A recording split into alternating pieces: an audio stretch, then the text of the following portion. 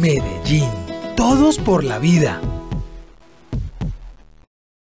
Los invitamos a que nos acompañen esta semana entre el 13 y el 18 a la Semana de la Convivencia que realizará la Administración Municipal. Tendremos diferentes actividades, una muy importante hoy es la, la suscripción del Pacto de la Legalidad, de la No Violencia y la Convivencia que realizaremos en la Comuna 11 en el sector Laureles, donde allí los residentes y los comerciantes firmaremos este pacto. Es a las 3 de la tarde en la Universidad Pontificia Bolivariana. Mañana se realizará el segundo foro de convivencia en propiedad horizontal, donde representantes de propiedad horizontal y la administración trabajaremos temas puntuales de solución pacífica de conflictos, la convivencia y el respeto por los vecinos.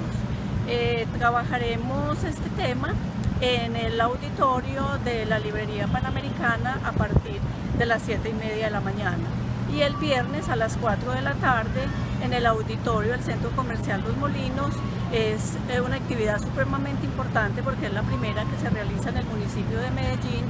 y es el premio al supervecino Héroes de la Convivencia, donde allí personas naturales y jurídicas de una manera silenciosa y desinteresada han venido trabajando por los demás, donde prima allí el interés general sobre el particular y donde cada uno desde su punto de vista educativo, residencial, comercial, ha venido trabajando con su sector, con su cuadra y con su, y con su vereda y corregimiento, donde lo más importante allí es el trabajo de la convivencia, la autorregulación y la solución pacífica de conflictos. Eh, se han diseñado seis categorías de los cuales la administración municipal premiará tres de cada una de las categorías. Así que acompáñenos que celebraremos diferentes actividades también con la Secretaría de Educación y Secretaría de Cultura en temas puntuales como entrenamiento de la, medición, de la mediación escolar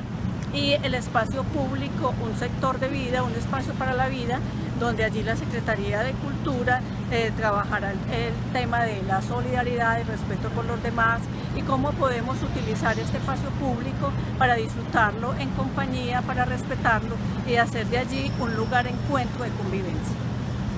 Medellín, todos por la vida.